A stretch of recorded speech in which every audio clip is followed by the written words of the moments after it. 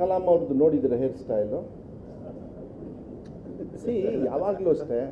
ಈ B J ಪಿಯವರಿಗೆ ಈಗ ನಮ್ಮ ಡಿ ಕೆ ಶಿವಕುಮಾರ್ ಅವರು ದಾಡಿ ಬಗ್ಗೆ ಮಾತಾಡಿ ನೂರ ಮೂವತ್ತರಿಂದ ಅರವತ್ತೇಳಕ್ಕೆ ಬಂದರು ಬಿ ಜೆ ಪಿಯವರು ಈಗ ನನ್ನ ಹೇರ್ ಕಟ್ ಬಗ್ಗೆ ಮಾತಾಡಿದ್ದಾರೆ. ಇಪ್ಪತ್ತಾರರಿಂದ ಆರಕ್ಕೆ ಬರ್ತಾರೆ ಬಿ ಜೆ ಪಿಯವರು ಎಂ ಪಿ ಚುನಾವಣೆಯಲ್ಲಿ ಬರೆದಿರ್ತಾರೆ. ಇದೆಲ್ಲ ಬಿಡಬೇಕು ಇದನ್ನು. ಈ ವ್ಯಕ್ತಿಗತವಾಗಿ ವ್ಯಕ್ತಿಗತವಾದ ಹಾಸನ ಬಗ್ಗೆ ಎಷ್ಟು ಎಷ್ಟು ರಾಡಿಯಾಗಿದೆ? ನಾನು ಮಾತಾಡೋದೇ ಇಲ್ಲ, ಪ್ರಶ್ನೆನೇ ತಗೊಳ್ಳಲ್ಲ ನಾನು. ಅದಕ್ಕೆಲ್ಲ ಕಾನೂನಿದೆ. ಒಬ್ಬ ಬಿ ಜೆ ಪಿ ರಾಜ್ಯ ಅಧ್ಯಕ್ಷ ಒಂದು ಗೌರವದಿಂದ ನಡೆಸ್ಕೊಳ್ತಕ್ಕಂಥದ್ದು. ಈಗ ಮಾನ್ಯ ನರೇಂದ್ರ ಮೋದಿ ಅವರು, ಈಗ ನಾನು ಹೇಳಿದ ತಕ್ಷಣ ಈಗ ಟ್ರೋಲ್ ಸ್ಟಾರ್ಟ್ ಮಾಡ್ತೀರಿ ನೀವು. ಕೋವಿಡ್ ಟೈಮಲ್ಲಿ ಪಾಪ ಅವರು ಉದ್ದಕ್ಕೆ ದಾಡಿ ಬಿಟ್ಟಿದ್ರು. ನಾನು ಬಿಟ್ಟಿದ್ದೆ. ಮರಿ ತಿಬ್ಬೇಗೌಡರು ಏನು ಮಾಡಿದ್ರು? ಗೊತ್ತಿಲ್ಲ ನನಗೆ ಅವಾಗ. ಆದರೆ ಅದನ್ನು ಹೋಗಿ ನೀವು ಶಿಕ್ಷಣ ಸಚಿವರು ಇದನ್ನು ಹೋಲಿಸ್ತಕ್ಕಂಥದ್ದು. Can you answer me Abdul Kalam ಅವ್ರ ಬಗ್ಗೆ ಇದೇ ರಾಜ್ಯಾಧ್ಯಕ್ಷ ಏನಾದ್ರು ಮಾತಾಡೋಕ್ಕಾಗುತ್ತಾ ಅವರು ಕೂಡ ಬಾಚ್ಕೊಳ್ತಾ ಇದ್ರು ಗೊತ್ತಿಲ್ಲ ನನಗೆ ಈಗ ಒಂದು ನಿಮಿಷ ಒಂದು ನಿಮಿಷ ಈ ತಲೆ ಬಾಚ್ಕೊಳ್ಳೋ ಒಂದು ನಿಮಿಷ ಒಂದು ನಿಮಿಷ ಒಂದು ನಿಮಿಷ ತಲೆ ಬಾಚ್ಕೊಳ್ಳೋದು ಅದು ಬಹಳ ಸಮಸ್ಯೆನಾ ಇವತ್ತು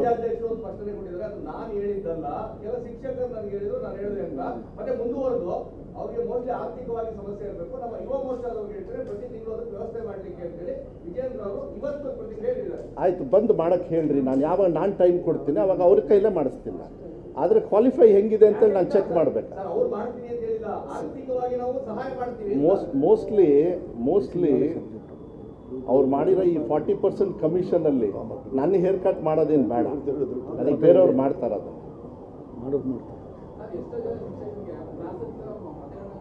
ಆಮೇಲೆ ನಿಮಗೆ ಇನ್ನೊಂದು ಹೇಳ್ತೀನಿ. ಒಂದು ನಿಮಿಷ. ಇಲ್ಲ ಇಲ್ಲ ಇದೊಂದು ಮಜಾ ಇದೆ. ಮರಿತಿಬೇಗೌಡ್ರಿಗೆ ನಾನು ಹೇಳಿದ್ದೆ, ಅದನ್ನ ಹೇಳಬೇಕಾಗಿತ್ತು ನೀವು. ನನಗೆ ಈ ಹೇರ್ ಕಟ್ದು ಮಾತಾಡಿದ್ರಿ. ಮಕ್ಕಳು ಏನಂತ ಮೆಸೇಜ್ ಕಳಿಸ್ತಾರೆ ಗೊತ್ತಾ?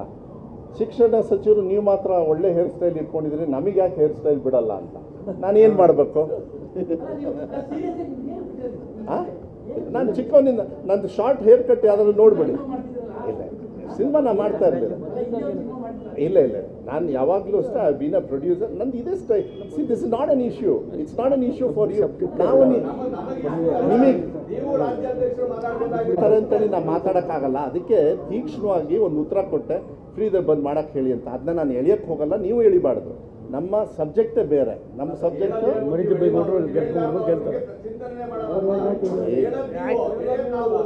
ನೋಡಿ ಡಿ ಡಿ ಕೆ ಶಿವಕುಮಾರ್ ಅವ್ರ ಬಗ್ಗೆ ಅಶೋಕ್ ಅವರು ಬಹಳ ಹಗುರವಾಗಿ ಮಾತಾಡಿದರು. ಈ ಪಾಪ ಇವ್ರ ಇವ್ರದ್ದು ಕೇಳ್ರಿ ನಮ್ ನಮ್ಮ ಹೇರ್ ಕಟ್ ತಗೊಂಡು ಪಾಪ ಅವರಿಗೆ ಯಾರು?